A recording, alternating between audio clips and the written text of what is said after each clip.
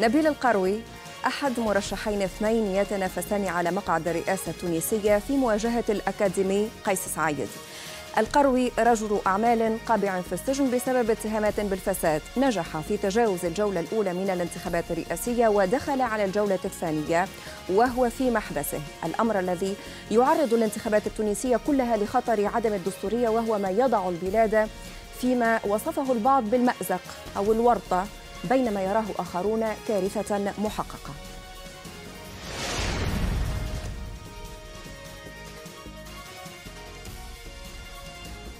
من داخل سجنه سيخوض المرشح نبيل القروي الدور الثاني من السباق الرئاسي بعد رفض الإفراج عنه. وفي الخارج يفتح القرار الباب على أزمة ستشهدها تونس في الفترة المقبلة. قرار سيلقي بظلاله الأولى على الانتخابات التشريعية وسيعيد حسابات الناخبين وحظوظ المرشحين في آن. تداعيات الانتخابات التشريعية قد تكون ردة فعل عكسية. قد يكون هذا عامل لدفع مزيد من الناس للتصويت إلى حزب نبيل القروي المسمى بقلب تونس. إبقاء أحد المرشحين في الدور النهائي بالسجن وتمكين المرشح الذي جاء بالمرتبة الأولى من أن يخوض معركة انتخابية دون منافس هذا سيلقي بظلال من الشك. هذا سيرتفع بالطعن في نتائج هذه الدورة الثانية أمام القضاء الإداري. انعدام تكافؤ الفرص سيلاحق الدور الثاني من الاستحقاق الرئاسي في كل مراحله لتصبح النتائج مفتوحة على كل الاحتمالات. الفرضية الأولى هو أنه يفوز السيد نبيل القروي فهذا يعطي مشكلة أخرى في إخراجه من السجن من عدم إخراجه بعد فوز. هذه يتناولها مسألة أخرى. الفرضية الثانية أنه يعلن على فوز المنافس السيد قيس سعيد والسيد نبيل القروي يقوم بطعن أمام المحكمة الإدارية والمحكمة الإدارية تؤيد طعنه. فبالتالي في هذه الحالة الدور الدور الثاني ستلغى نتائج الدور الثاني. القضاء قال كلمته والتونسيون توجهت هواجسهم نحو سيناريو إلغاء نتائج الانتخابات برمتها بينما يحذر مراقبون من مرحلة قد تتمخض عنها فوضى في الداخل وعزلة في الخارج. من أمام محكمة الاستئناف في العاصمة التونسية علم طيرة العربية. ونناقش هذا الموضوع مع ضيوفنا من تونس عادل البرينصي عضو الهيئة العليا المستقلة للانتخابات. أهلا بك. ومن تونس أيضا رضا بالحاج عضو لجنة الدفاع عن القروي. أهلا بكم ضيفاي إلى بانوراما لهذا المساء. واسمح لي أن أبدأ مع السيد عادل لفهم شكل هذه الانتخابات يعني مع عدم إطلاق سراح أو إخلاء سبيل نبيل القروي كيف سيكون شكل هذه الانتخابات الرئاسية؟ من حيث الحملة التي ستنطلق غدا ومن حيث عملية اقتراع المرشحين كذلك المتنافسين؟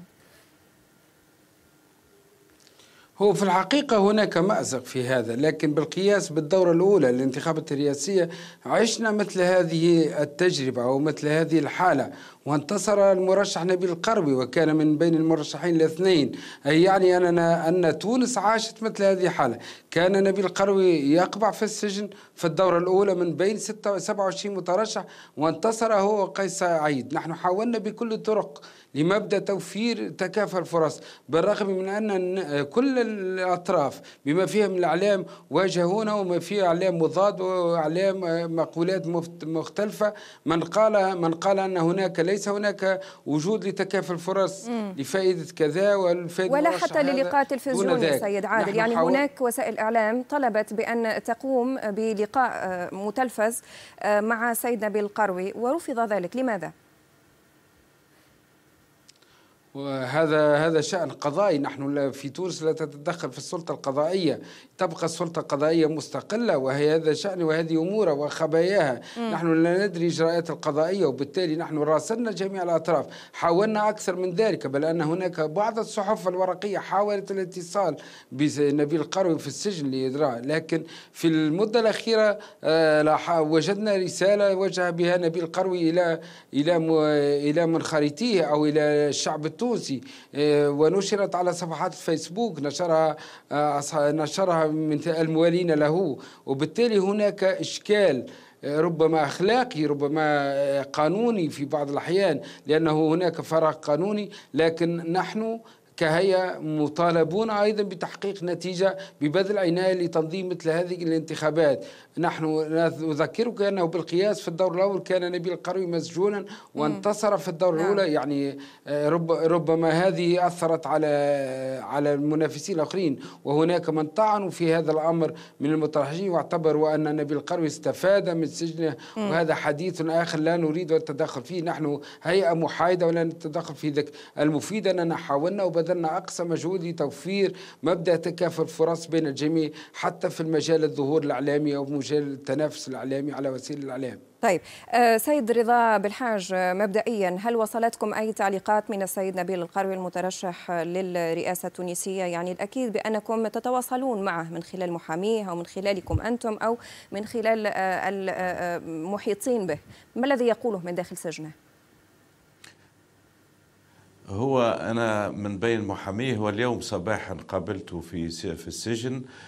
بالنسبة لي هو آه، في حالة صدمة من آه، موقف القضاء التونسي آه، من رفض إطلاق سراحه باعتبار أن هذا القرار سياسي وهو قرار تقريبا مملى من طرف سياسي لاستبعاده من من السباق الانتخابي واستبعاد وإضعاف حزبه حزبه في التشريعية وتمكين حركة النهضة من المرتبة الأولى. هذا هو ال ال ال الوضع السياسي اليوم. هنالك طرف سياسي يستعمل في القضاء لإبعاد آه، نبيل القروي من السباق الرئاسي وإضعاف حزبه في السباق التشريعي.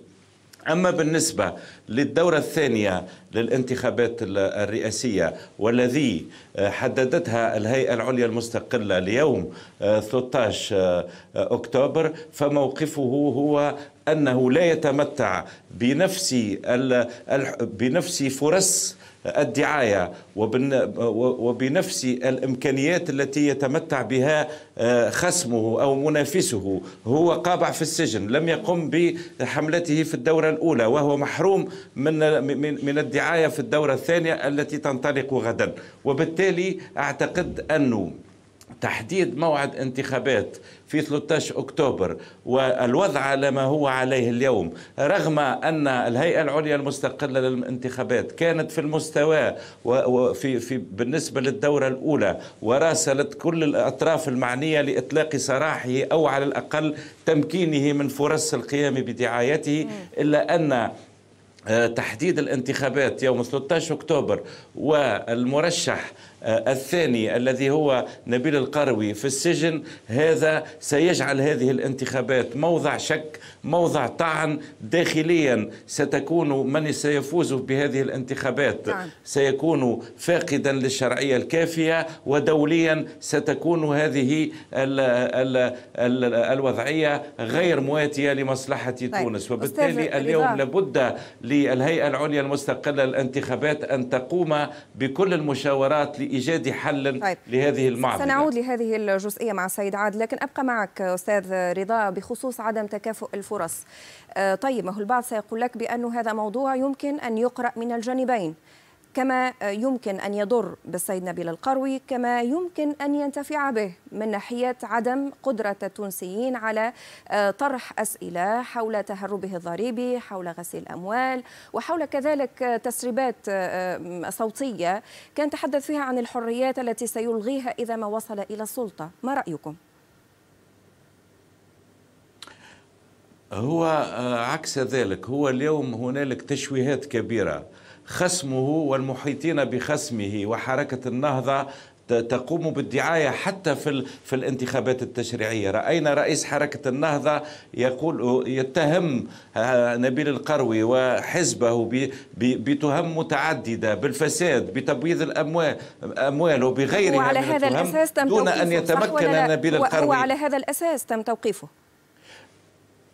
هو تم توقيفه بمقتضى قرار سياسي اتخذه آه، يوسف الشاهد مع حركة النهضة لاستبعاده. ليس قرار قضائي. القضاء في هذه الإشكالية في هذا الموضوع لم يكن مستقل. البارحة كان من المفروض إطلاق سراح نبيل القروي إلا أن النيابة العمومية والوكيل العام بمحكمة الاستئناف الذي يتبع نظاميا يتبع وزير العدل هو الذي رفض إطلاق سراح نبيل القروي. اذا الوضع آه، آه، سجن نبيل القروي هو قرار سياسي متخذ من الحكومة بدعم من حركة النهضة. لكن هذا هذا هذا يدين يدين القضاء في تونس أستاذ رضا بالحاج وحضرتكم محامي وتعلمون بأنه مثل هكذا يمكن اعتبارها اتهامات في القضاء.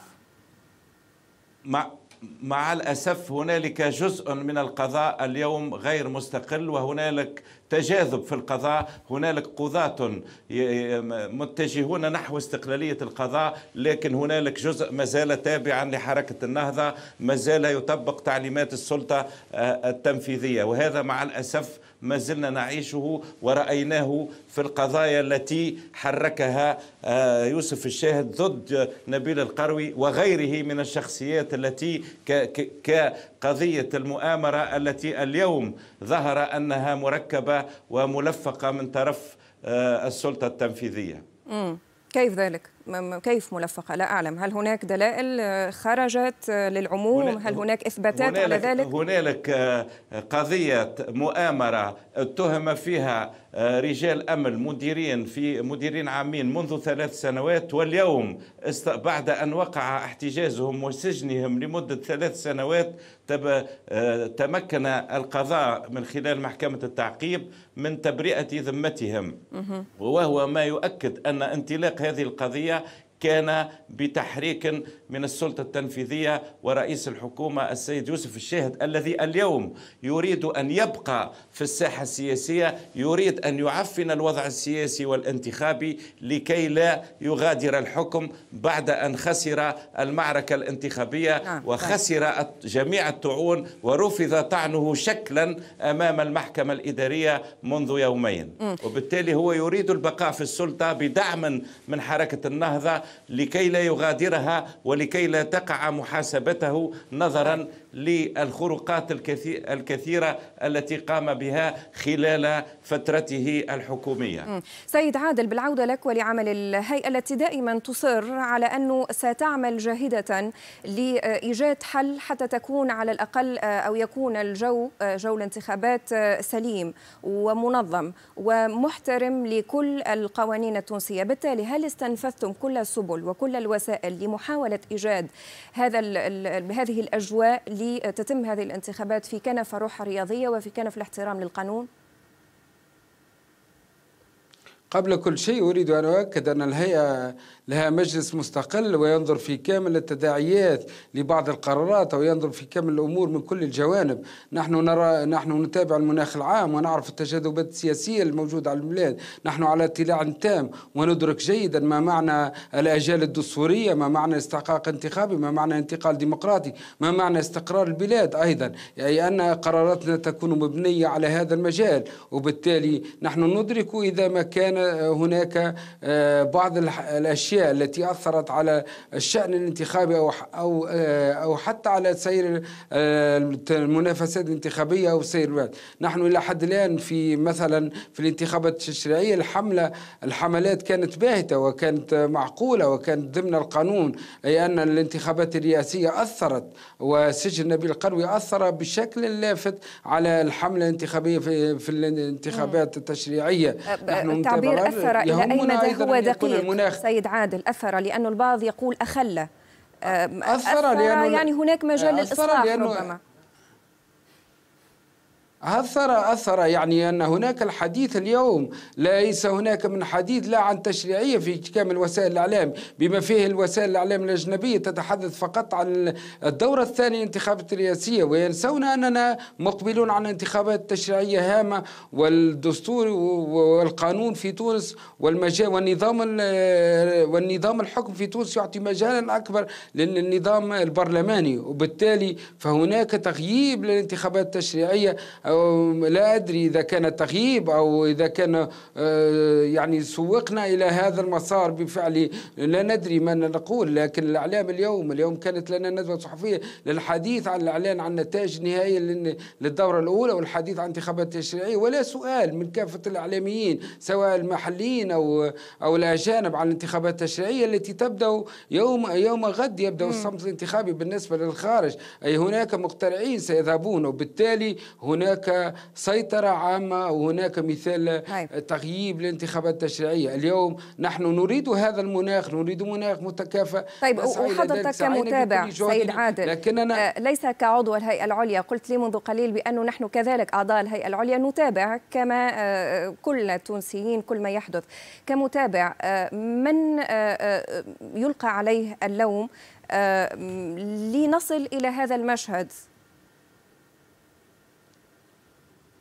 اللوم لا يقع هناك عدة أطراف كل الأطراف حتى الفراغ القانوني الموجود في القانون الانتخابي أو في الدستور لا يوجد مثل هذه الحالة. أن أن يكون مرشح للانتخابات وهو سجين لا يوجد. حالة شغور تحدثت عن الوفاة أو المرض الدائم أو أو التخلي أو الاستقالة لم تتحدث عن هذا. هناك نحن مدركون أن هناك فراغ قانوني بل هناك أزمة أخلاقية. أزمة أخلاقية من الجانبين. هناك من يحسب أن هناك كيف لناخب تونسي في فترة انتقال ديمقراطي أن ينتخب شخصا متهم في السجن. وهناك مجال آخر يقول كيف لشخص مترشح وللدورة الثانية ويتم سجنه؟ هذا هذه المجالات كل هذه نسمعها. طيب كيف سيقترع وهو من داخل سجنه سيد عادل؟ يعني الأكيد بأنكم كذلك لوجستيا جهزتم ذلك. سيقترع من داخل السجن؟